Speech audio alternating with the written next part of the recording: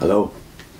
I want to return to this book, which I did an intro to a couple of years ago, and it's one of our most frequently watched videos Anti Intellectualism in American Life.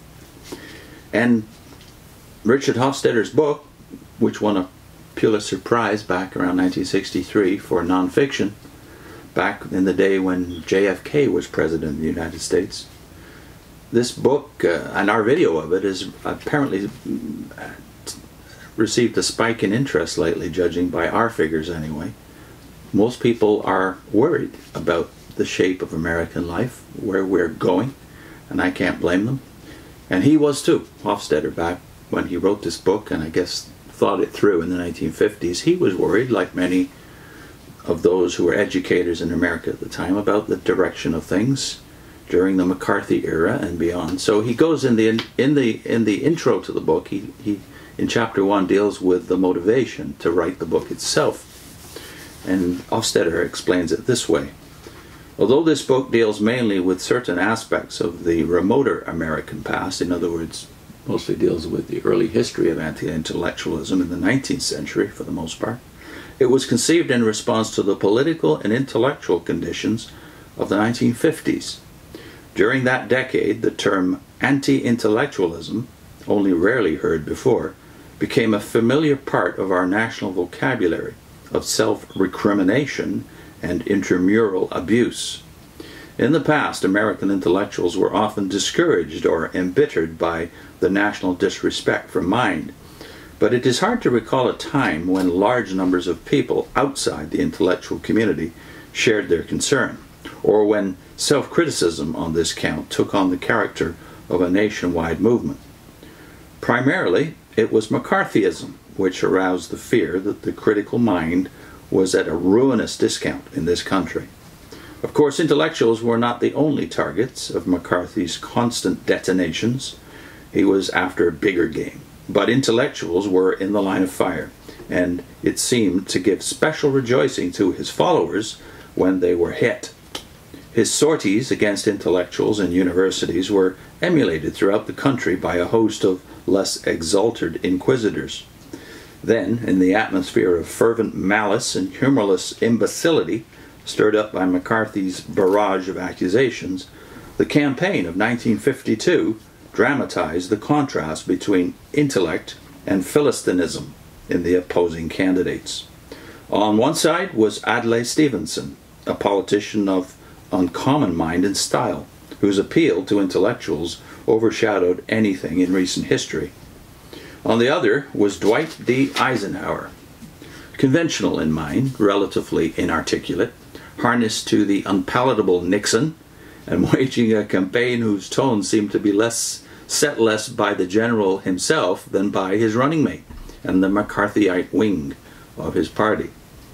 Eisenhower's decisive victory was taken both by the intellectuals themselves and by their critics as a measure of their repudiation by America. Time, the weekly magazine of opinion, shook its head in an unconvincing imitation of concern. Eisenhower's victory, it said, discloses an alarming fact long suspected there is a wide and unhealthy gap between the American intellectuals and the people. End of quote from Time. Arthur Schlesinger, Jr., in a mordant protest written soon after the election, found the in intellectual, quote, in a situation that he has not known for a generation, end of quote. After 20 years of democratic rule during which the intellectual had been in the main understood and respected, business had come back into power, bringing with it the vulgarization which has been the almost invariable consequence of business supremacy. Now the intellectual, dismissed as an egghead, an oddity, would be governed by a party which had little use for or understanding of him, and would be made the scapegoat for everything that, from the income tax to the attack on Pearl Harbor. Anti-intellectualism, Schlesinger remarked, has long been the anti-Semitism of the businessman. The intellectual is on the run today in American society. That is Schlesinger in an article in the Partisan Review. Hofstadter goes on. All this seemed to be amply justified when the new administration got underway. The replacement, in Stevenson's phrase, of the new dealers by the car dealers seemed to make final the repudiation of intellectuals and their values. They had already been overshadowed by the courthouse politicians of the Truman years. The country was now treated to Charles E. Wilson's sallies at pure research, to stories about Eisenhower's fondness for Western fiction as reading matter and to his definition of an intellectual as a wordy and pretentious man. But during the Eisenhower administration, the national mood reached a turning point. The McCarthyite rage, confronted by a Republican president, burned itself out. The senator from Wisconsin isolated himself, was censured, and deflated. Finally, in 1957, the launching of the Sputnik by the Soviets precipitated one of the, those periodic surges of self conscious national reappraisal to which the American public is prone. The Sputnik was more than a shock to American national vanity. It brought an immense amount of attention to bear on the consequences of anti intellectualism in the school system and in American life at large. Suddenly, the national distaste for intellect appeared to be not just a disgrace, but a hazard to survival. After assuming for some years that its main concern with teachers was to examine them for disloyalty, the nation now began to worry about their new low, sal- their low salaries. Scientists who had been saying for years that the growing obsession with security was demoralizing to research suddenly found receptive listeners. Cries of protest against the slackness of American education hitherto raised only by a small number of educational critics, were now taken up by television, mass magazines, businessmen, scientists, politicians, admiral, admirals, and university presidents, and soon swelled into a national chorus of self reproach. Of course, all this did not immediately cause the vigilante mind to disappear, nor did it disperse anti intellectualism as a force in American life, even in the sphere most immediately affected, that of education, the ruling passion of the public seemed to be for producing more Sputniks, not for developing more intellect. And some of the new rhetoric about education almost suggested that gifted children were to be regarded as resources in the Cold War.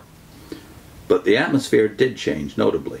In 1952, only intellectuals seemed much disturbed by the specter of anti intellectualism.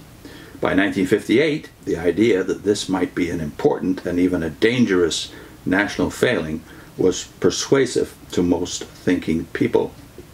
Today, it is possible to look at the political culture of the 1950s with some detachment.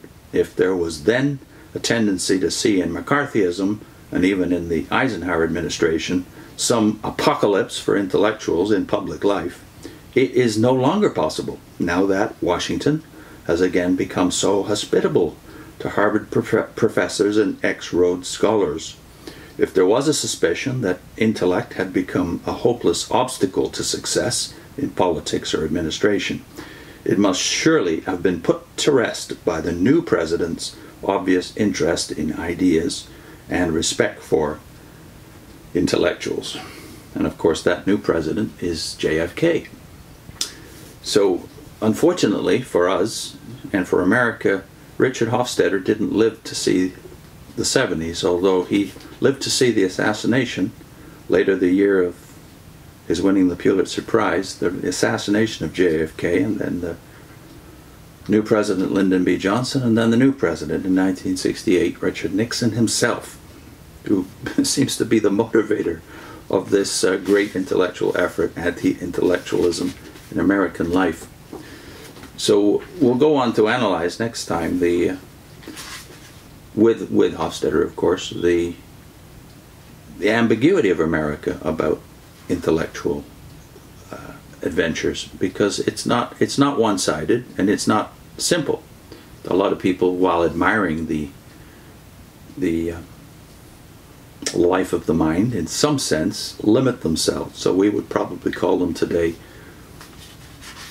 the people who are not capable of thinking outside their their box, and and that tendency, you can see, uh, worried Hofstadter back here in 1962, but not over much. I think he was he was saying that all we needed was balance, and that he did not think. I think we'll find out in subsequent chapters of this book. He did not think that this was going to destroy the fabric of American life. But his analysis is so acute.